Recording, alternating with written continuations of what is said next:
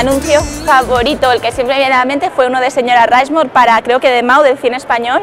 Tiene muchos años y salía eh, Resines. Y, y le tengo mucho cariño más que nada porque fue la primera vez que vi como un anuncio molaba y además eh, tengo un vínculo con mi padre muy especial con este anuncio, así que es el mejor anuncio para mí de, de todos.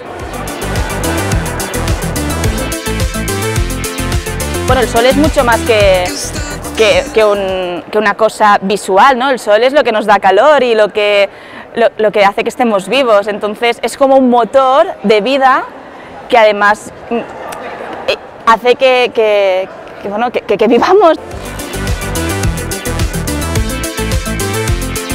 Lo bueno que tiene la publicidad japonesa tan histriónica y tan luz y tanta, tanto brilli brilli, creo que es un poco lo que ahora estamos a lo que estamos yendo nosotros los, eh, los medios de comunicación un poco en internet, ¿no? encontrar eso que llame la atención al usuario y que sea visual o sea por historia o sea por empatía y tal, te llame la atención. Creo que Japón lo lleva quizá a lo, a lo, a, los fuegos artificiales y nosotros quizá lo llevamos más a otro tipo, a, a la empatía, al insight, pero también usamos muchos fuegos artificiales.